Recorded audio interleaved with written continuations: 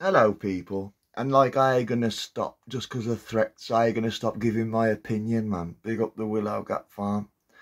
But yeah, I congratulate all the well that them doing with Scotty G him well and that man. But do you have to shave him like an animal on camera? I'm just gonna let that sink in a little bit. Do you have to do this on camera? Why can't you just get him all like looking spick and span? Like uh, do do an after, before and after. What what do you have to do? Like uh, put him through this degrading like uh, treatment for man for YouTube. You know what I mean? For what's this got to do with uh, money, like uh, getting well and stuff like that? What? What? Tell me. Come on, tell me, man. Tell me what it is. You look like a bank robber, Scotty. Yeah, that's it. You have to take the piss out of him, man. You know what I mean? It's all laugh, all fun games, man.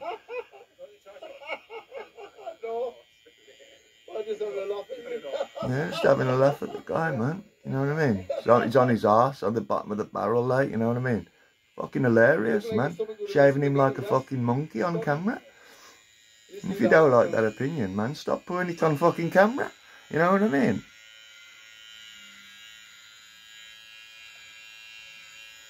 Anyway, that's that, you know you get the picture. You get the fucking picture, man. You get the picture. What? Why? Why shave him on camera? Why? Why can't you just say, "Oh, this is what I looked before, and this is what after"? You know what I mean? You don't have to like degrade him like he's fucking in Auschwitz, do you? You know what I mean? What the fuck, man? Uh, did anybody else get this vibe? Was it just me? Because everyone will go, oh, you're just putting a good thing down. But tell me, was this needed? Was this video needed? Fucking hell. Take care, people.